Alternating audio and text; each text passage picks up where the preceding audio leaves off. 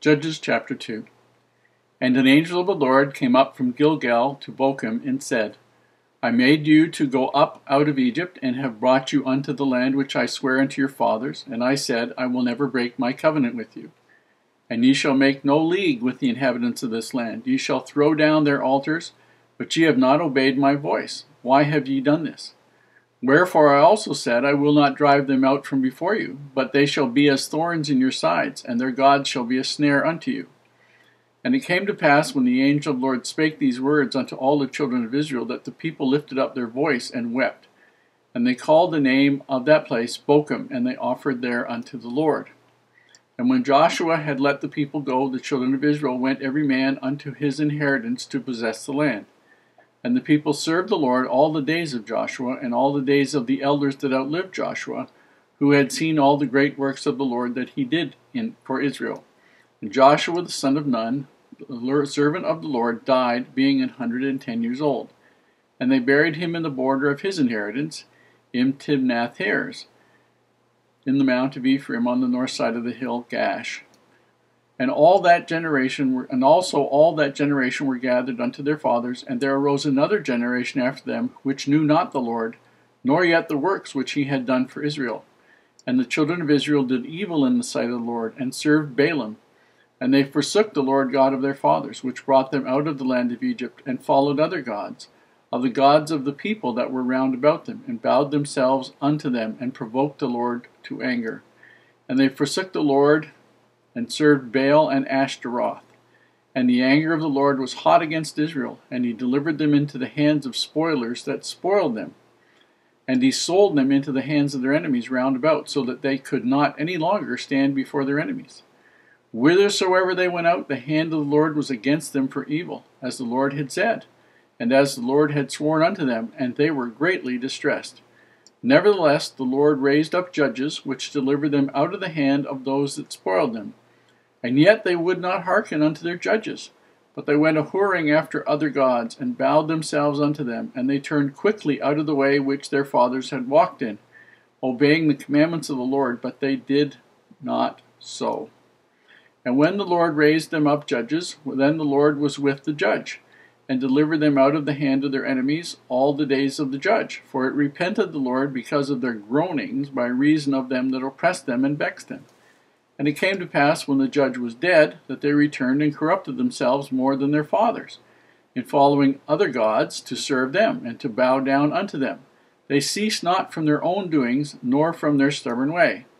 And the anger of the Lord was hot against Israel, and he said, Because that this people hath transgressed my covenant which I commanded their fathers, and have not hearkened unto my voice, I also will not henceforth drive out any from before them of the nations which Joshua left when he died, that through them I may prove Israel, whether they will keep the way of the Lord to walk therein as their fathers did keep it, or not.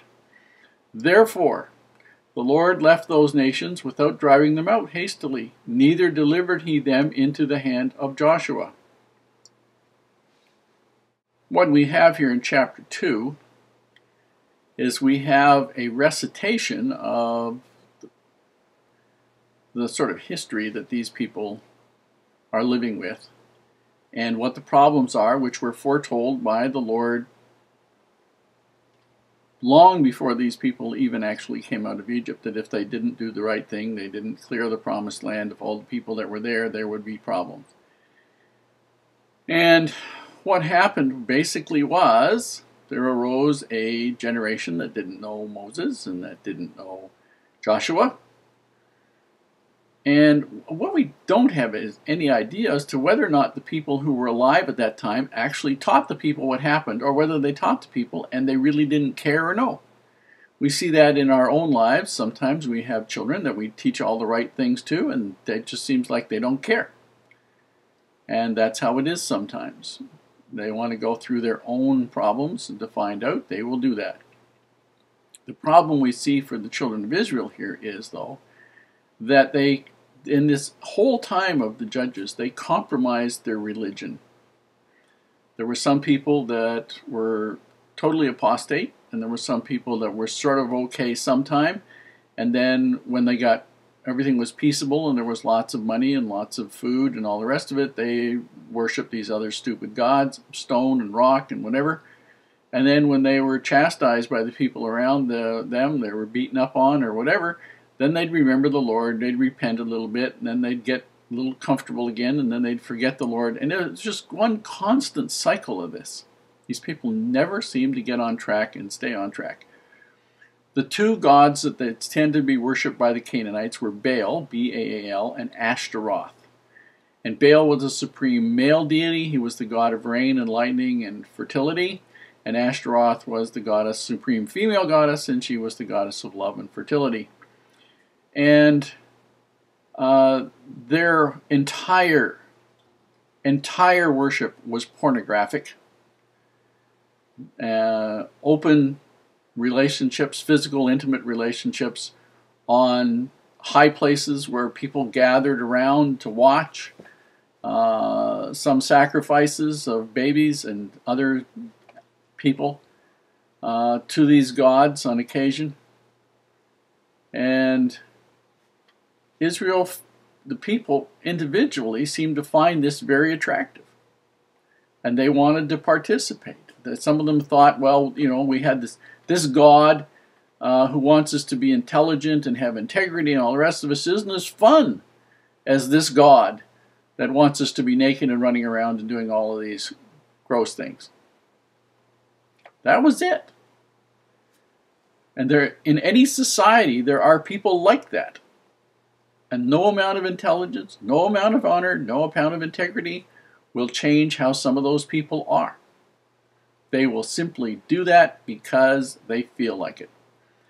Now, we need to understand also that the judges were not judges in the normal sense of the word as we think of judges. The actual word that was used to translate into judge in the time of the translation of the King James Version actually, if we go back to the original Hebrew, means a military hero or somebody who was a local leader. And what we have in the book of Judges is stories about the military heroes during this span of years that were all collected and put together. And so you'll see that most of the judges have some kind of military prowess or physical prowess not all of them were the most wonderful, brilliant, religious people on the face of the earth. Some of them were like Samson. And others, there were a few others who were really remarkable individuals. This, this is not a great time. When we hit Ruth, then things seem to start to get better.